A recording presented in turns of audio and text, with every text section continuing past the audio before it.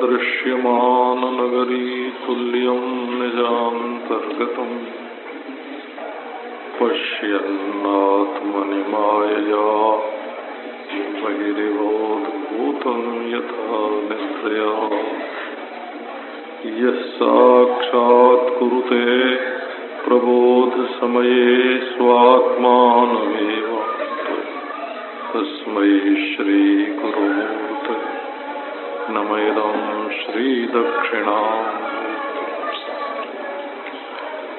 संभोगे विप्रलम्बे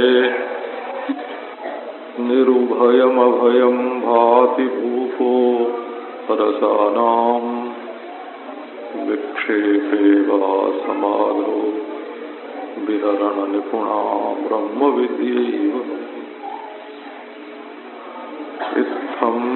लोकैरशोकैरनुपदमधिकं भाव्यमानोऽवधूता श्रीपूर्णानन्दतीर्थ। पथि पथि पथिकान् नन्दयन् वं ओ।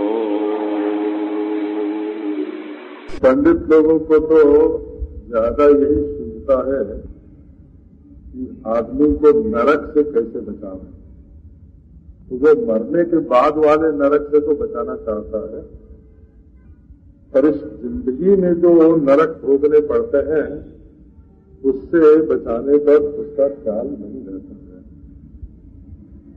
मरने के बाद तुम्हें स्वर्ग कैसे मिले, इसका ख्याल पंडित पुरोहित को रहता है, फादरी को रहता है, मौलवी को रहता है। और जो कुरान शरीफ को मानेगा और मोहम्मद साहब को मानेगा, उसको फिरिस्त में जाना होगा। मोहम्मद साहब सिफारिश करते और पादरी लोग तो चिट्ठी लिख के रख दिया करते थे मुर्दे पर। उसकी दक्षिणा थी, दक्षिणा लेते और चिट्ठी लिख के मुर्दे पर रखते थे कि जब तुम परलोक में जाना तो ये हमारी सिफारिश की चिट्ठी लिखाना।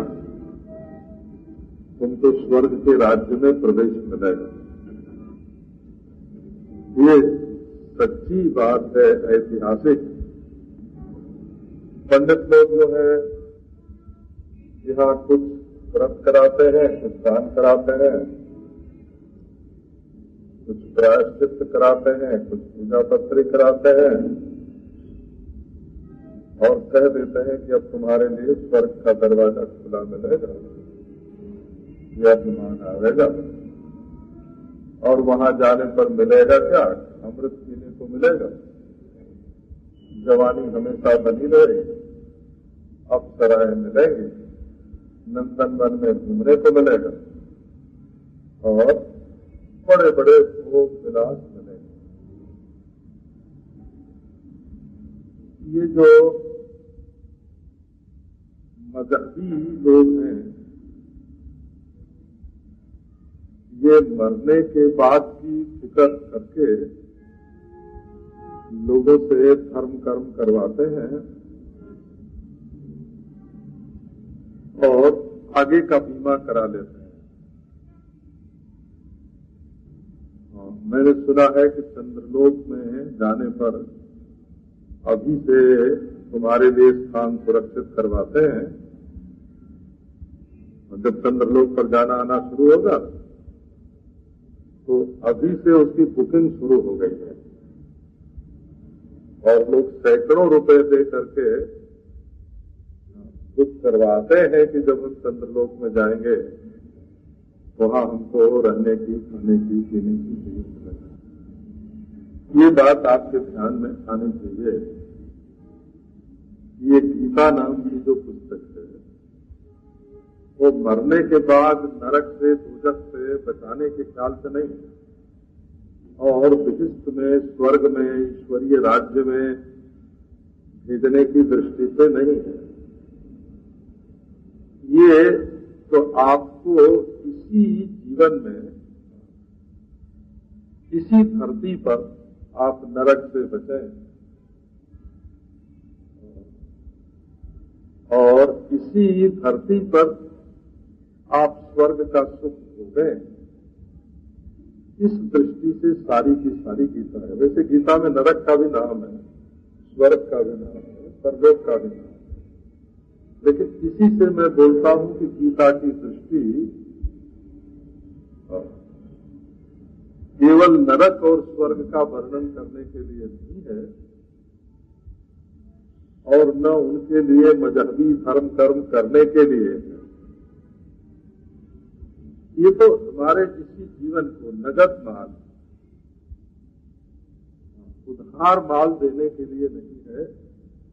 ये बात आप अपने पहले ध्यान में रख लीजिए कि गीता इस लोक में सच्चा जीवन, सच्चा ज्ञान और सच्चा सुख देने के लिए उतरी है। भगवान श्री कृष्ण इसको निकालते थोड़े थे अपने मुँह से बोलना नहीं चाहते थे। ये बात भी आप ध्यान रखें। श्री कृष्ण के हृदय में गीता छिपी हुई थी। माने उनका ऐसा ज्ञान था, ऐसा अनुभव था, ऐसा बोध था। और उसको उन्होंने बहुत गुप्त रखा था। गीता में हृदय पार्थ। आप महात्म में पढ़ो। बोलते अर्जुन, ये गीता मेरा दिल है। मन मेरा अनुभव है, मेरा निश्चय है। मैं गीता में जो बात है, उसी में स्थित रहता हूँ और किसी के सामने निकालना नहीं चाहते। ये जो गुप्त रहस्य है ना, सुअर के सिर पर सिंदूर लगाना, ये कोई सिंदूर की इज़्ज़त नहीं है। सुअरों के सामने मोती बिखेरना, ये कोई मोती की इज़्ज़त नहीं है। ये तो भगवान ने अपने हृदय में छिपा के रखा था। पर आप लोग जानते हैं ना, ऐसी भी गाय होती है जो महाराज जब दुहने वाला बैठे ना दुहने को तो अपने दूध को वो सुखा लेते हैं, रोक लेते हैं। और जब उनका बछड़ा आता है तो छोड़ देते हैं दूध पीने के लिए, उनके स्तन से झरझर दूध गिरने लगता है। हमने अपने हाथ से भैंस धोई है। गाय धोई है। ना उनके बारे में हमको मालूम है। हम कोई शहर से तो नहीं है ना। हम तो बहुत छोटे गाँव के हैं। इन सब बातों की हमको जानकारी है। गाय की जीव बहुत खुरदरी होती है। वो चाटने लगे तो हमारे शाम को मांस को सबको चाट जाएगी। और भैंस की जीव इतनी नरम होती है कि वो चाटे तो मज़ा आता है। अब ये बात शहर के लोगों को थोड़ी मालूम है क्या हुआ कि जब अर्जुन युद्ध भूमि में आके दोनों ओर की सेना, कौरवों की अलग, पांडवों की अलग,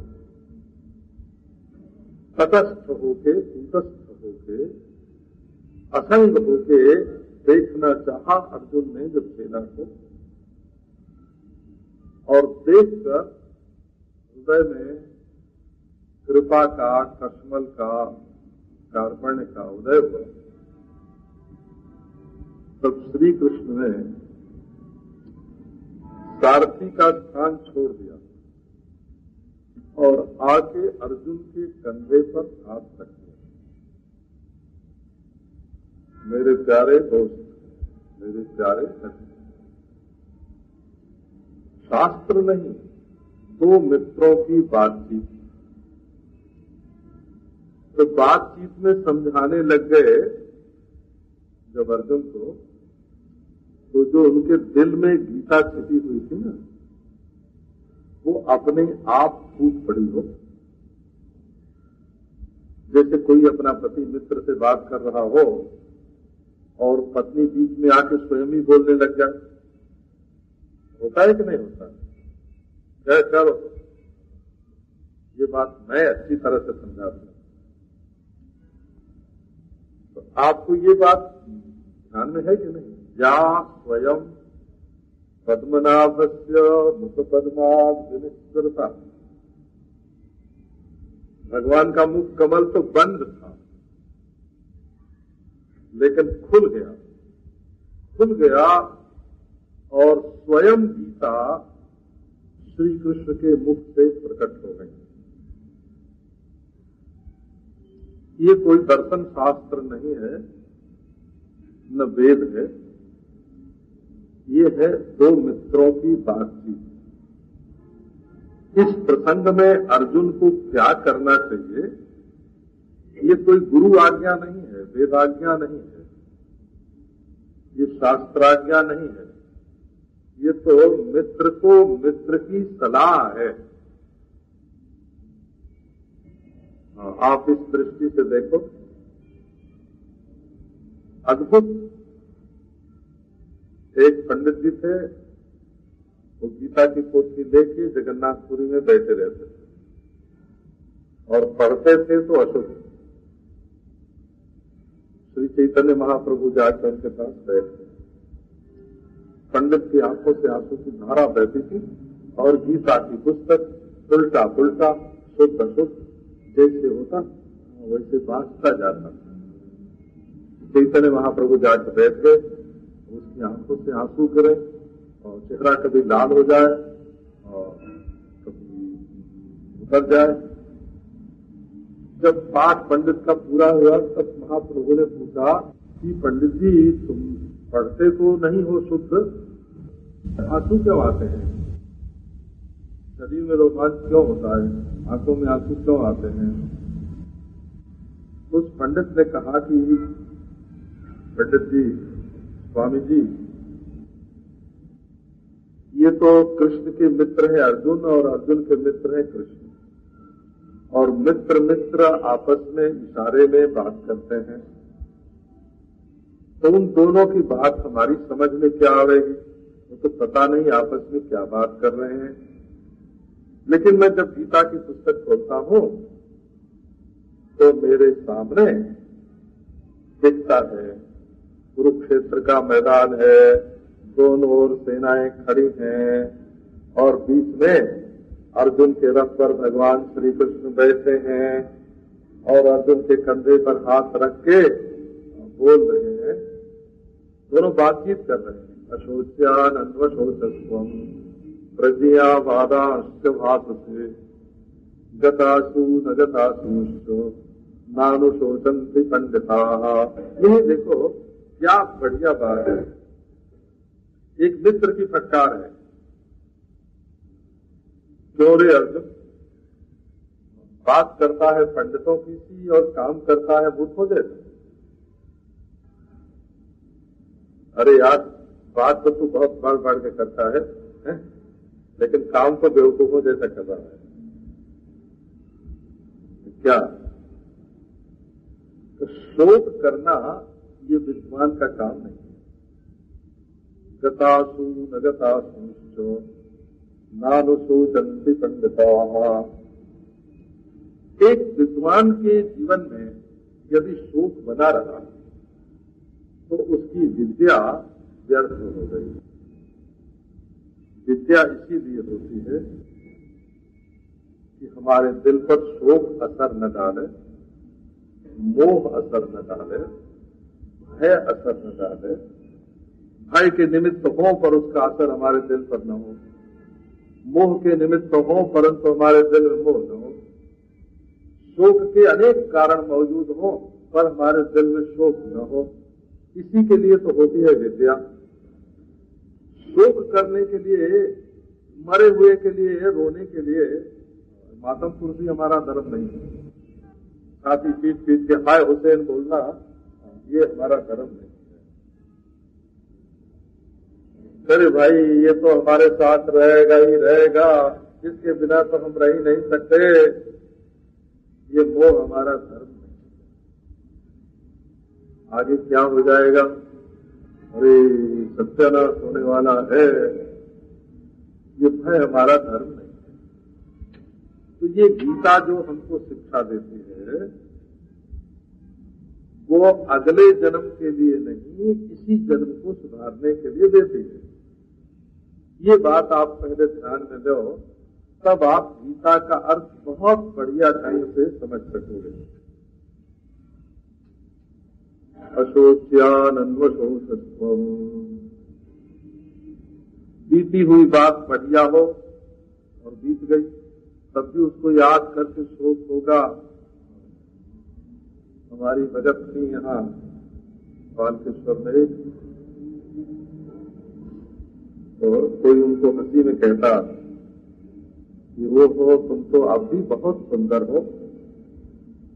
बुद्धि थी तो कहते थे अब क्या देखते हो? यदि हमको जवानी में देखते उनको अपनी जवानी बीत जाने का जो दुख था ना, जवानी बहुत बढ़िया आई। बच्चे हुए, बहुत बढ़िया जीवन व्यतीत हुआ, लेकिन अपनी जवानी बीत जाने का उनको शोक था। बढ़िया। अरे, हमारे घर में तो महाराज उस दिन चोर आ गए। डाकू आ गए और रोज गाली दे गए। अब उसका भी शोक।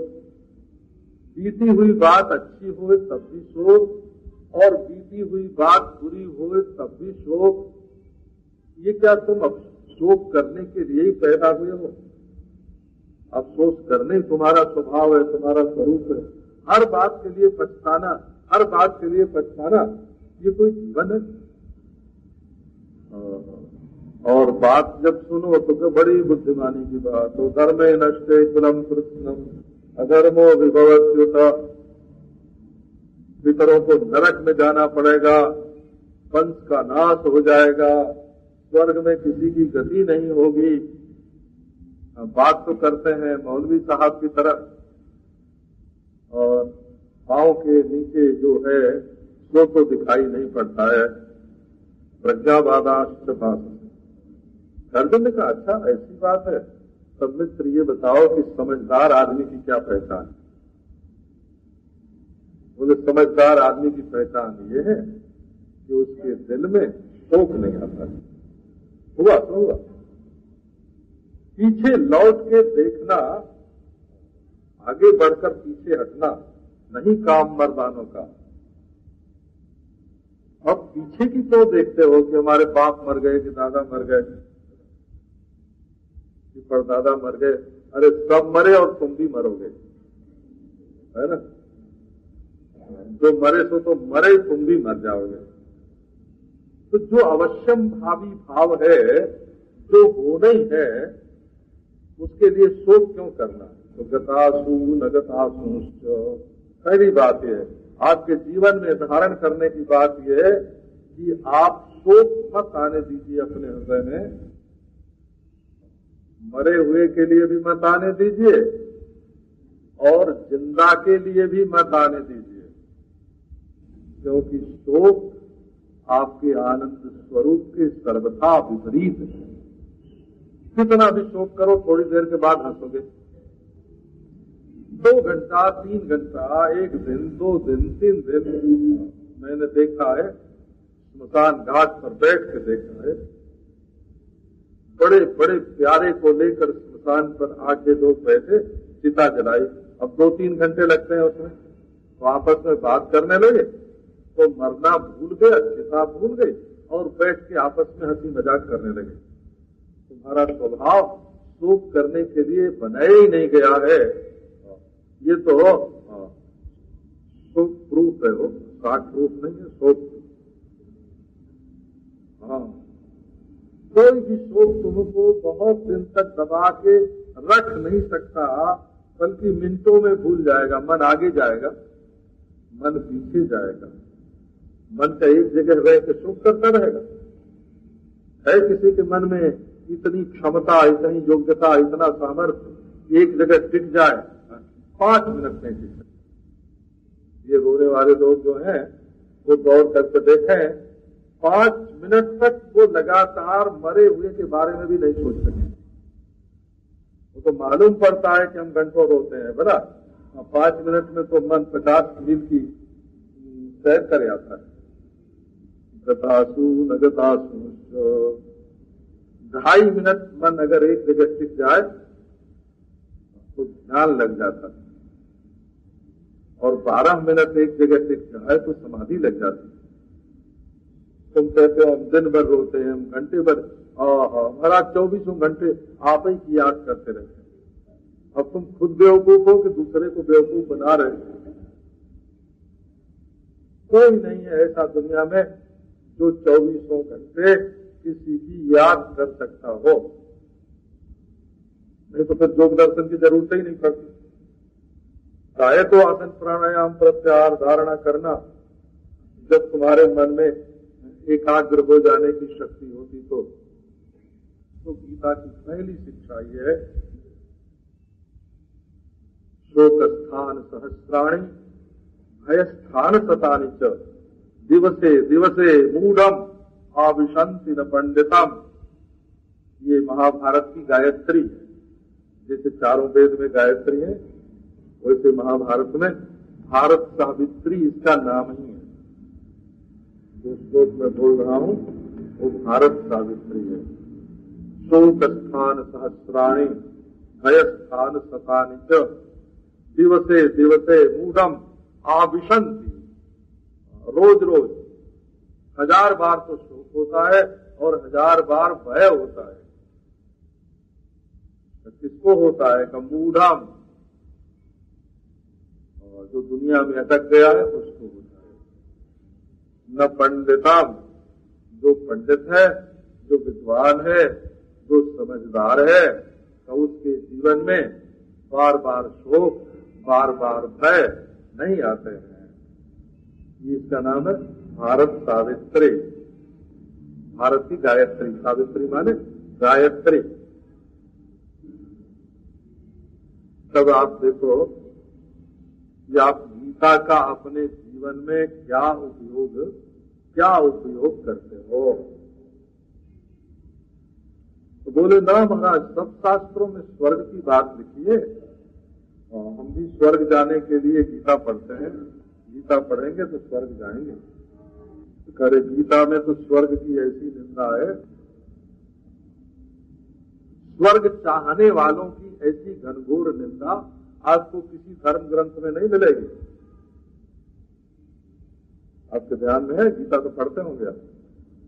या इमाम पुस्तिताम वाचम प्रवदंत्यभिपश्चित वेदवादरता पार्थ नान्यदस्ती वादिन कामात्मान स्वर्ग परा जन्म मृत्यु फल प्रदाम क्रिया विशेष बहुलाम भोग ऐश्वर्य गतिम प्रति भोग ऐश्वर्य पृथक्ताराम दयापहृत चेतसाम व्यवसायात्मिका बुद्धि समाधौ न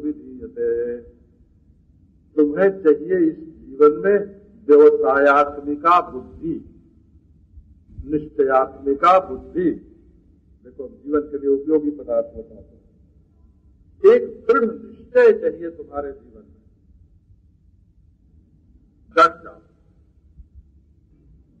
चाहे भक्ति के मार्ग में चलो तब भी दृढ़ निश्चय।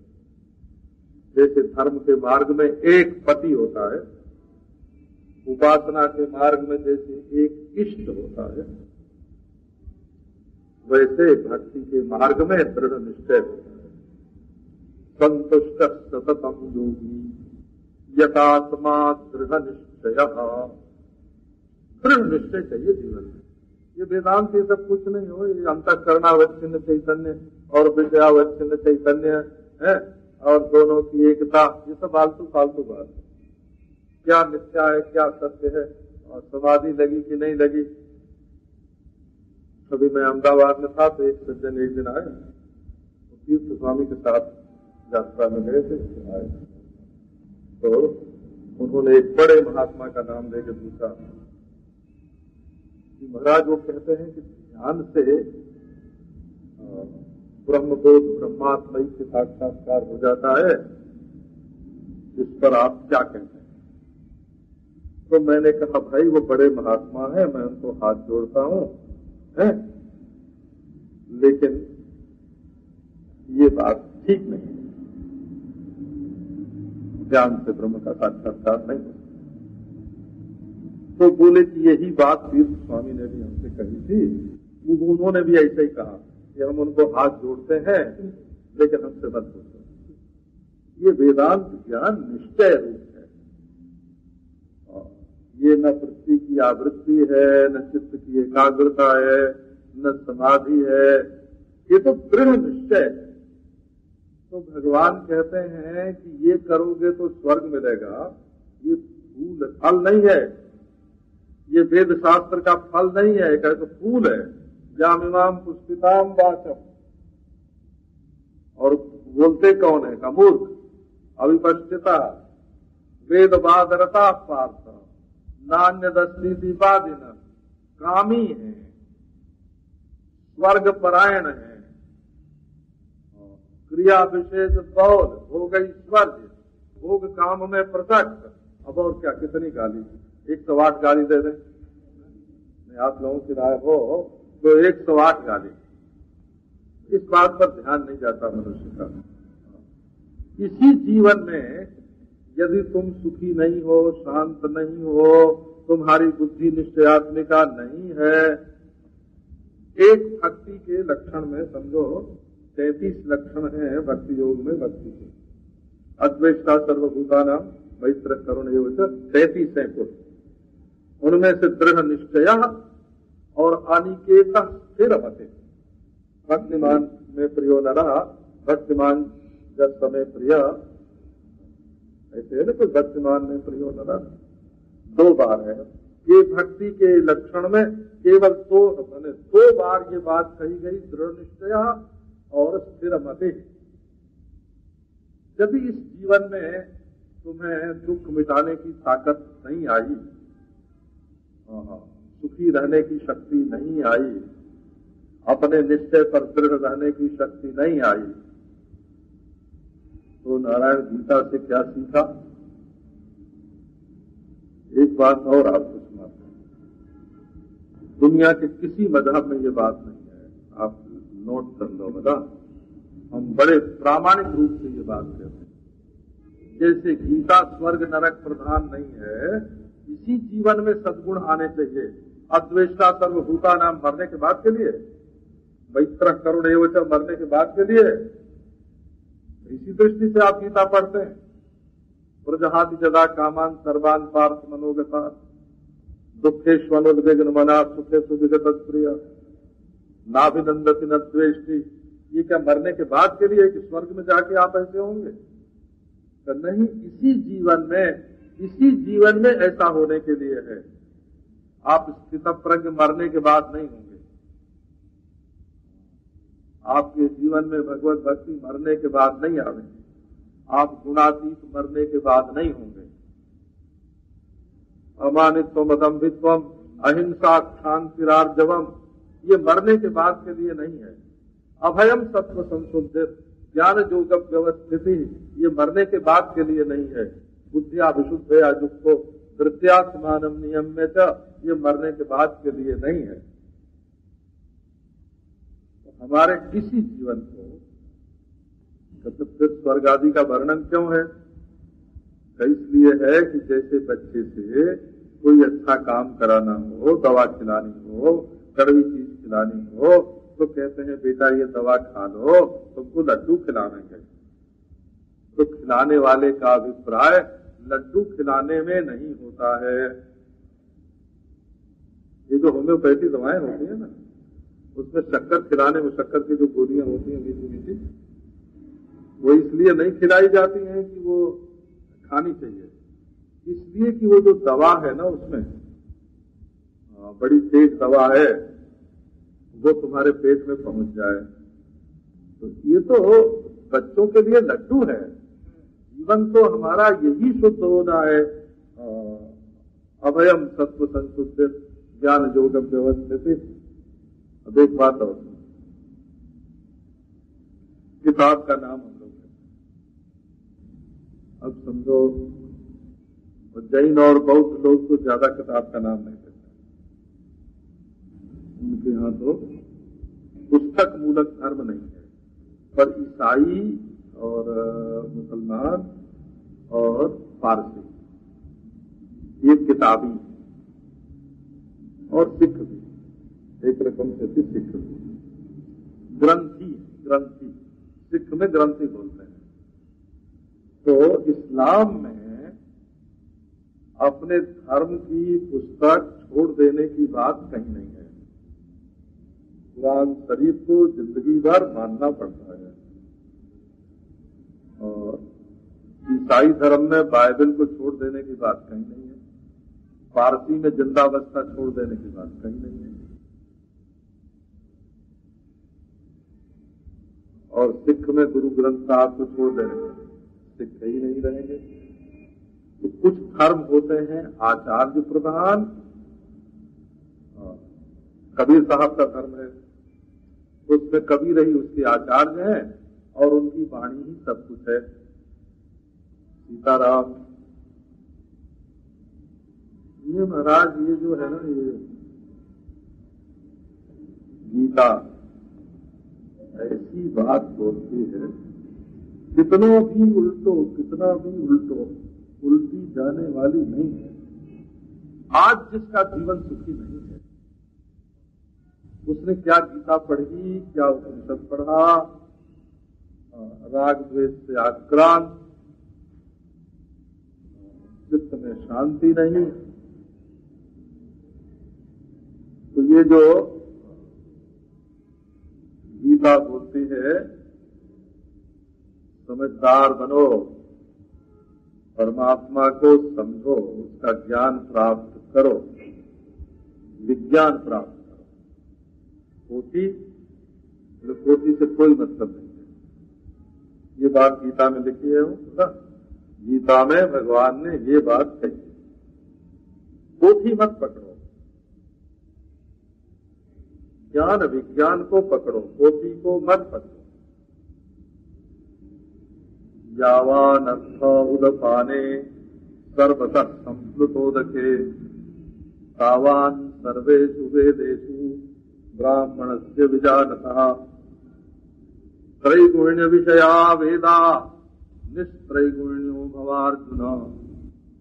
निर्द्वंदो नित्य तत्वस्थो निर्जोगक्षेम आत्मवान। उपनिषदों में इसका विभाग किया हुआ है। ये जो वेद, शास्त्र, इतिहास, पुराण है, ये अपरा विद्या है। और जिससे अक्षर ब्रह्म का बोध होता है, वो परा विद्या है। तो अधिगम का नाम, अनुभव का नाम विद्या है, परा विद्या। और पोथियों का नाम है अपरा विद्या पोथियों का नाम है अपरा विद्या और ब्रह्म ज्ञान का नाम है परा विद्या तो करना क्या है? हाँ हाँ हमें पोथी नहीं चाहिए। पोथी में लिखी हुई जो विद्या है ना पोथियों में जिस विद्या का वर्णन है, उसका हमको अनुभव होना चाहिए। मुझे वेद पुराण पुराण से क्या मुझे सत्य का पाठ मुझे धर्म अधर्म से क्या करना मुझे त्याग का रंग चढ़ा दे कोई?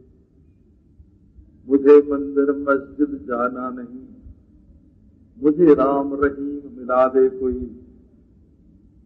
तो ये देखना अपने जीवन की ओर होता है। अपने जीवन में जो सत्य छिपा हुआ है, उसका पर्दा फाड़ देना ये बुद्धि का काम है। दुनिया में कोई मज़हब ऐसा नहीं है जो अपने मज़हब की मूल किताब के बारे में ही अतन निरसने न भवन निधना वेद बोले, प्रभु, मुझे तुम्हारे सिवाय और कुछ नहीं चाहिए। तुम प्रभु जीवो, मैं मर जा प्यारे, तुम ज़िंदा रहो, मैं मर जाऊँ। पहली बात आपको ये सुनाई। ये जो गीता है, ये परलोक बताने के लिए नहीं है। इस लोक में ही जीवन मुक्ति का परम आनंद प्राप्त करने के लिए है। ये नगद माल है। ये उधार सौदा नहीं है। ये सच्चा नहीं है बेमाल का। ये बेमाल का सौदा नहीं है। तो क्या सिखाती है गीता। और सुनावेंगे जो दुनिया के किसी मज़हब में नहीं है। आप लोग ये मत समझना कि किसी मज़हब का नाम क्यों लेते हैं। हम इन मजहबों के बारे में हम जानते हैं। इसलिए इनका नाम कितनी बातें गीता में ऐसी हैं जो दुनिया के किसी किसी मज़हब में नहीं। बना बताओ, जो किताब में लिखा है, सो ठीक है कि जो बुद्धि योगी के अनुभव में आता है, वो ठीक है। आप गीता से पूछिए। बुद्धि योग मुपाश्रित्य मच्चित सततम भव। बुद्ध शरण मन किसी मज़हब में ये बात निकाल दो। मिल जाए किसी मज़हब बुद्ध शरण मन कृपणा फल हे तुम बुद्धि का आश्रय लो। फल के लिए काम करने वाले तो कृपण है। हम जाते थे लोगों को अच्छा बुरा लगेगा, क्या बात काशी में मेन रोड पर हो बुला नाला में ईसाइयों का वो है कार्यालय उस पर लिखा है, तुम सब प्रभु ईसा की शरण में आओ, तुम्हें शांति मिलेगी। तुम सब ईसा की शरण में आओ, यीशु कृष्ण की शरण में आओ तुम्हें शांति मिलेगी। बड़े बड़े अक्षरों में वहाँ लिखा हुआ हम आज रास्ते में आते जाते खिलाड़ी लोग थे महाराज जाके भीतर सुन जाते क्या बोलते हैं। बाबा खलील का व्याख्यान ही मैंने मुसलमान थे उनका व्याख्यान। पहला ये बताओ, बुद्धो शरण मन वित्त बुद्धि युक्तो जहाती उभे सुकृत दुष्कृत। है पाप पुण्य से छूट जाओगे, कैसे? जब बुद्धि हो जाओगे। बुद्धि युक्त इसी लोक में पाप पुण्य को छोड़ देता है। बताओ किसी मज़ाक में? उस मज़हब के, क्या नाम है, मौलवी को नहीं मानोगे और उसकी किताब को नहीं मानोगे तो तुम्हारे पाप पुण्य कभी छूटने वाले हो तो कुप्र हो जाएगा। कुप्र हो जाएगा, काफिर हो जाएगा, हो जाओगे, नीच हो जाओगे। है कहेंगे ऐसी बात? कर्मजम बुद्धि युक्ता ही अनम त्यक्वा मनीषिण। बुद्धि युक्त पुरुष, कर्मज जो फल है सुख दुख। प्रारब्ध से मुक्त। इसी जीवन कर्मजम बुद्धि युक्ता ही अनम त्यक्वा मनीषिण। इसी जीवन में यही जीते जीते किसी दूसरे की शरण में जाना नहीं है। पाप पुण्य होना नहीं है। इसी जीवन। सुख दुख से मुक्त हो जाना है। यदाते मोह कलिनम बुद्धिर व्यतिरिष्यति हमारे मोह को मिटाने वाली बुद्धि है। अज्ञान नावृत ज्ञानम तेन मुह्यंती जनसभा। है कहीं? आप लोग, आजकल तो सर्वधर्म सम्मेलन होता है। लीपा पोती महाराज सब धर्म बराबर है, जाके मदद लेनी है ईसाइयों से, पैसा खींचना है वहाँ से तो कहेंगे हाँ हाँ तुम्हारा धर्म और हमारा धर्म बराबर है। कौन है महाराज? ऐसा ऐसा कौन धर्म है? तो आपको गीता सिखाती है।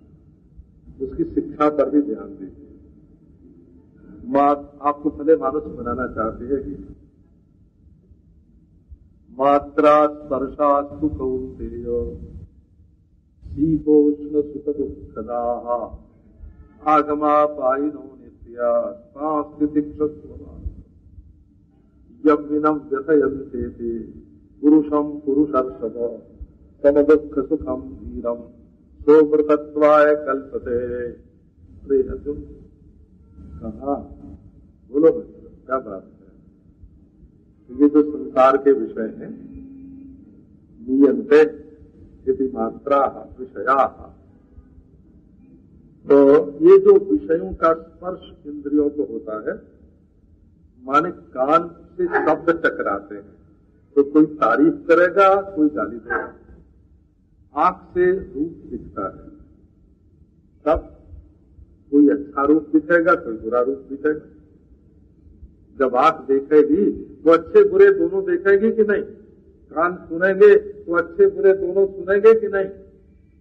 नाक सुनेगी मुगलपुर के बाबा तो बड़ी अच्छी वो कहते थे कि महाराज, जिस चीज़ को देख करके तुम लोग फूक देते हो ना, उसके कण नाक के रास्ते से घुस के पेट में पहुँचते हैं।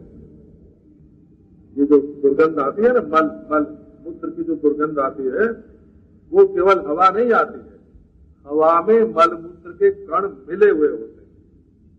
ठीक है तुम तुलसी सूंघते हो। भगवान का पवित्र प्रसाद आता है, तुम्हारे सामने चीज़ से खाते हो।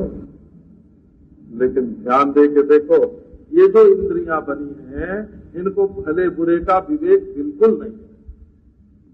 ये हमारे जीवन में जो इंद्रिया है, ये स्वरूप को भी देखे स्वरूप को भी देखे। गाली भी सुने और स्तुति भी सुने और सुकुमार का भी स्पर्श करें। कठोर का भी स्पर्श करें। मना कर दो ना कि आग की चिनगारी पड़े त्वचा पर तो तुमको बतावे नहीं। मात्रा स्पर्शास्तु कौनते शीतोष्ण सुख दुखदा ऐसा किसी का जीवन नहीं है, जिसके जीवन में गर्मी, सर्दी और सुख और दुख दोनों नहीं आते। इसको कहो कि प्रारब्ध से आते हैं तो भी ठीक है। प्रकृति से आते हैं कहो तो भी ठीक है। ईश्वर भेजता है कहो तो भी ठीक है। माया भेजती है कहो तो भी ठीक है। अज्ञान से आते हैं कहो तब भी ठीक है। हम इनके बाप दादा का पता नहीं लगाना चाहते। इनका गोत्रोच्चार करके क्या करना है? क्या ब्याह करना है इनसे। ब्याह करना हो तो पंडित से गोत्रोच्चार करवा लो। ये कहाँ से आए? अरे अभी हमारी गोद में एक सांप गिरा ऊपर से। तो पहले पता लगावे किस जात का है, है? इसमें जहर है कि नहीं है? ये कहाँ से आ गया? अरे तब तक तो काट खाएगा मर जाओगे। पहले सांप गिरे तुम्हारे गोद में तो वो झटकों की उतरी दूर जाके गिरे। हमने देखा हमारे बाबा के हाँ, हमारे बाबा के पितामा के गाँव पर सांप आया। उन्होंने भरा वो पाँव झटका। तो ये जो संसार के गर्मी सर्दी सुख दुख है ये तुम्हारी इंद्रियों का स्वभाव है। आग की चिंगारी पड़ेगी तो गर्म बता देगी कमल की पंखड़ी जब छुएगी तो उसको सुकुमार बता देगी ये तो मात्रा स्पर्शास्त्र कौनते गर्मी आवेगी, सर्दी आवेगी। हाँ तो भाई, हम एक ऐसा वैज्ञानिक आविष्कार कर रहे हैं जो गर्मी के दिनों में सूर्य का धूप धूप जो है ना, वो गर्म ना होगा अरे बाबा, ब्रह्मा जी के किए तो वही नहीं। है? अब तुम क्या करोगे? ये तो हमारे मन में कोई जो सुख देता है वही हमारे पास रहेगा। अरे, वो तुम्हारे पूर्ण प्रारब्ध को खा जाएगा। जिसको देखने से सुख होता है, वो अपनी आँखों के सामने जब बहुत ज़्यादा रहेगा, तब सुख नहीं होगा उसके देखने से। जो तुमको दुख देता है, कहो कि वो हमारी आँख के सामने ना आवे। तो तुम ईश्वर हो, परमेश्वर हो, क्या हो, अपने को क्या मानते हो? ये गीता सिखाते हैं। ये आते हैं, जाते हैं। सड़क बहती रहती है। सड़क पर कुंडा भी चलता है और सड़क पर फकीर भी चलता है। ये सड़क है। इस पर कभी गर्मी भी पड़ती है। ये भी नहीं रहेगा। आगवा वायु नित्या तब हमारा जीवन कैसा होना चाहिए? भारत। ये गीता सिखाती हो, जो सहिष्णु नहीं होगा, उसको धरती पर रहने का अधिकार नहीं। आप लिख दो। ना धरती जैसी क्षमाशील है? गड्ढा खोदो तो धरती, फूको तो धरती धरती मल मूत्र का विसर्जन करो तो धरती, पाँव से कुचलो तो धरती, पूजा करो तो धरती, और इसी धरती पर तुम रह के, इसी धरती पर तो रहो, और सहिष्णु न, बर्दाश्त करने की ताकत न हो। बर्दाश्त करने की ताकत जिसमें नहीं है, वो धरती पर जीने का हकदार नहीं। स्थिति स्व भारत सभाई हम सह लेते हैं। तो बहुत बढ़िया, तुम्हारे मुँह में भी सकते यम विनम यथे पुरुषम पुरुषर्षभ सम दुख सुखम धीरम सो मृतत्वाय कल्पते। जब अमृत गीता पिलाती है, अमृत पिलाती है। किसको? तो सहिष्णु जो धीर है, जो सहिष्णु है। धीर है। देखो, प्रारब्ध को मार भगाने के लिए इतनी बड़ी युक्ति औरों के तो प्रारब्ध है नहीं। मुसलमान और ईसाई को प्रारब्ध ही। नहीं उनके मत में किस्मत नाम की जो चीज़ है, वो पूर्व जन्म के कर्म का फल नहीं है। क्योंकि ईसाई और मुसलमान दोनों मजहबों में पूर्व जन्म माना ही नहीं जाता। तो जैन और बौद्ध, ये दोनों पूर्व जन्म मानते हैं। तो उनके प्रारब्ध बनता है। और प्रारब्ध से आवेगा क्या? तो सुख दुख आवेगा। तो बोले, भाई, प्रारब्ध सुख दुख भेजती रहे, कोई बात नहीं है। गर्मी सर्दी भेजती रहती है प्रकृति, और सुख दुख भेजता रहता है प्रारब्ध। जीवन मरण, प्रारब्ध भेजता है, सुख दुख प्रारब्ध भेजता है, सकल सूरत प्रारब्ध भेजता है, ठीक है। भेजने दो। लेकिन तुम, अरे जरा बाबा दोनों में बराबरी तो देखो तुम दुख, सुख हम धीर चाहिए वो विकार हे तो सती विक्रियंते ये शाम न चेतामसी तय धीरा विकार के हेतु उपस्थित होने पर। गाली देने पर जब सूझे, ये हमको देहाभिमान से ऊपर उठाना चाहता है। स्तुति करने पर सूझे, ये हमको देह में बाँध के रखना चाहता है। ऐसा सूझे, ऐसा जो धीर पुरुष है, उसको अमृत की प्राप्ति होती है। ये कौन सिखाता है? एक गीता सिखाती है, हो? ये गीता की शिक्षा इसी जीवन के लिए है। ये नहीं कि तुम बर्दाश्त करोगे तो तुमको स्वर्ग मिलेगा, और बर्दाश्त नहीं करोगे तो नरक मिलेगा। नहीं नहीं, इसी जीवन बाबा जी कहते थे, सबसे बड़ी सिद्धि है मनुष्य के जीवन में बर्दाश्त करना।